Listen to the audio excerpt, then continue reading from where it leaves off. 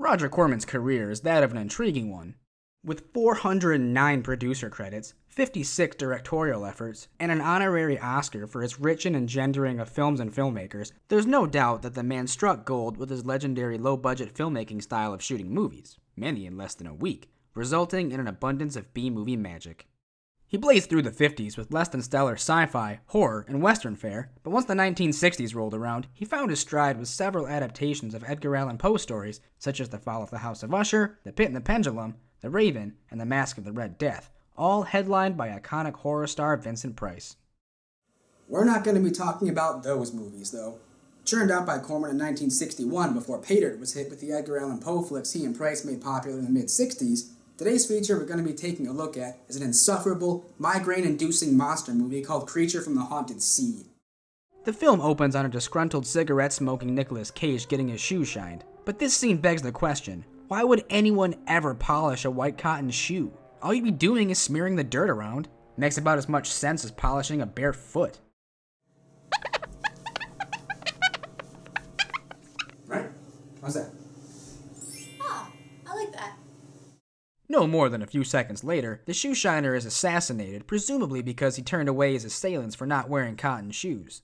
A resulting foot chase ensues, but Nicolas Cage outruns the rejected, unpolished gunman, cleverly digests the address given to him, and dons a Groucho Marx mustache sure to keep him incognito. After meeting up with a fellow secret agent to discuss his next mission, undercover identities are revealed to the audience. I had to be sure it was you. XK-120? Right. XK150? Right. Let's just say random letters and numbers and confirm them. Aren't you gonna kiss me goodbye? Right. And they kiss, and his mustache ends up on her upper lip. Nothing promises a horrifying creature feature more than a dim witted caricature of Puff the Magic Dragon occupying a haunted body of water animated in the opening credits. Here's some cartoon Cubans, concept art for the Batman and Fidel Castro as Robin's sidecar, more Cubans, and uh, oh yeah, we've seen it, thanks. The 20th century occurred in Havana, Cuba. The revolutionary victors marched in, and the national complexion changed completely. Post opening credits, the Cuban Revolution is explained to us via shoddy schoolhouse rock sketches. But once the actual movie begins, it's clear the cartoon conveys more followable information than the dialogue spoken in broken accents by the characters discussing plot. Mis buenos amigos americanos, nos cabe el honor de preservar el honor del honor cubano. En un solemne acto de confianza han confiado en nuestras confiables manos. I have a feeling he's saying a lot more than what is subtitled here. We then meet Renzo Capetto, an international mobster who was offered his boat for the assistance of smuggling Cuba's national treasury out of the country. On board is undercover agent XK-150 posing as one of his crew. So far, the first 10 minutes of this movie includes incoherent accents. As an American gambler and gangster, you're above suspicion. Non existent blocking resulting in stumbling actors, a plot that makes no sense, and a poorly lit treasure transfer. Well, well, this is a beautiful night for sailing. Who invited him? The big cheese was Renzo Capetto, alias Capo Rosetto, alias Rado Pizzetti, alias Zeppo Staccato, alias Shirley Lamore. Those are all just aliases influenced by Italian food. Also on board is Special Agent Mostaccioli, First Lieutenant Rigatoni, and Major General Tortellini. They couldn't have filmed a more boring shot for this guy's backstory. He's even falling asleep at the wheel having to listen to his own origins. Renzo permits him to imitate any animal that comes into his head.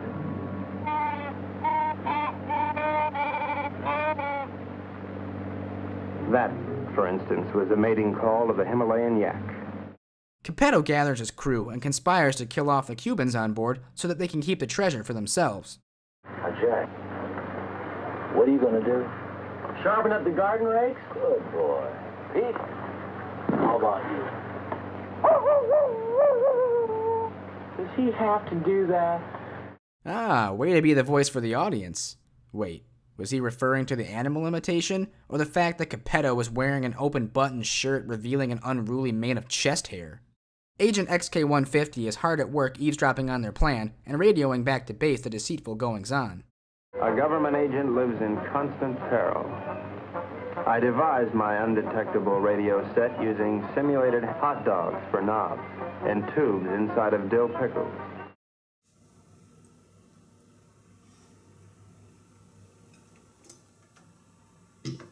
Shenanigans on a working radio made up of hot dogs and pickles. There isn't a signal to be found with these ballpark Franks and Vlasic kosher dills. Oh, we got something here. Joe Egan and Gerry Rafferty were a duo known as Stealers Wheel when they recorded this Dylan-esque pop bubblegum favorite from April of 1974 that reached up to number 5 as K-Billy's Super Sounds of the 70s continues. All right.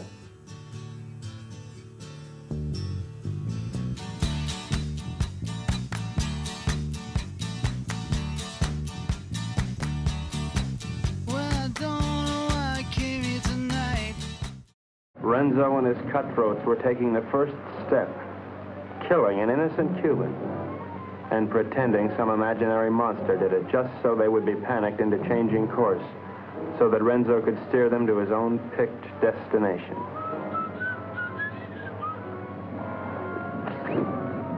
Oh no! The monster left dirt rings, Change course! But what none of us knew was that the monster invented by Renzo had already been invented by somebody else. By a couple of other monsters, I guess. What the hell was that? Chewbacca meets the Cookie Monster? Those soldiers were attacked by some weird creature from the sea. Came in, Plunged the toilet. did your boys in, and vanished again. What's so funny? Did you get a load of that costume? It's hysterical. Well, General Tostado thinks we ought to change course in order to escape the monster. General Tostada. He's a commanding officer of Chips. Renzo devises a plan to intentionally capsize his ship and retrieve the treasure at a later time. Waiting for them at the bottom of the ocean is a Brillo pad wearing flippers. This was just shot in a fish tank and a miniature treasure chest was dropped in, wasn't it? Once ashore, Renzo and Maribel idle away on the beach until it's time to reclaim the treasure. Where'd she get a curling iron? Did she plug it into a palm tree, coconut, hermit crab? Love is in the air when Peterson belts out a cacophony of animal sounds and finds himself a soulmate on the island.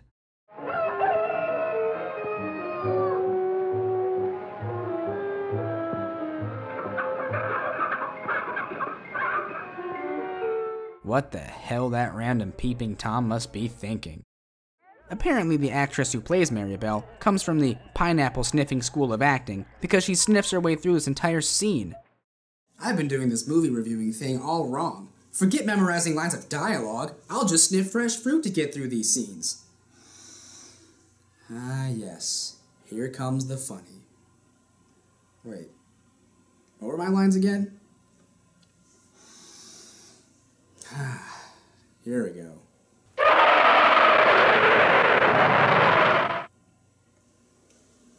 Yeah, you called?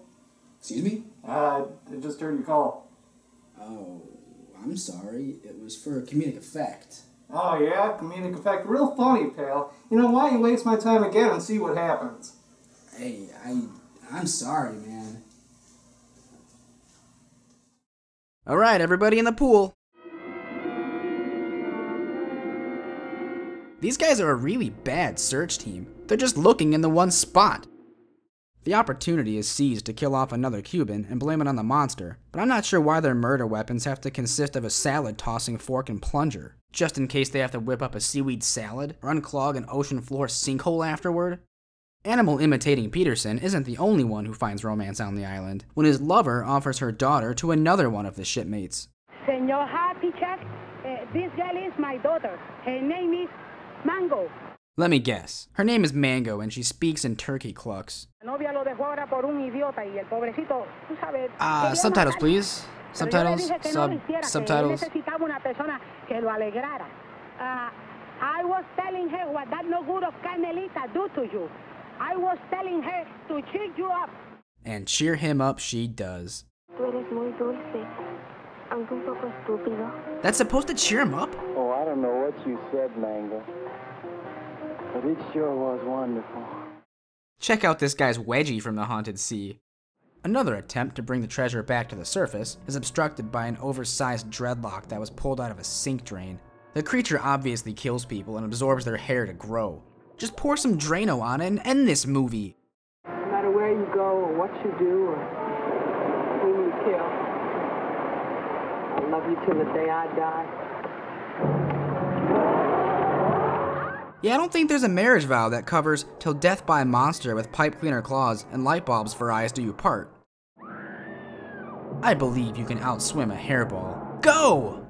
Renzo eventually does get his comeuppance when he's consumed by the creature via salad fork, much like a seaweed covered Homer Simpson.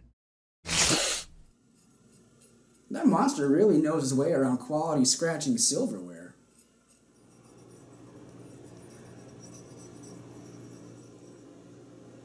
Hey, could you pass me the other one? It was working a lot better than this one was.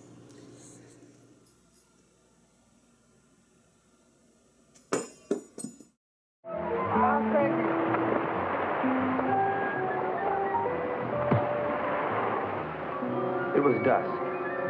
I could tell because the sun was going down.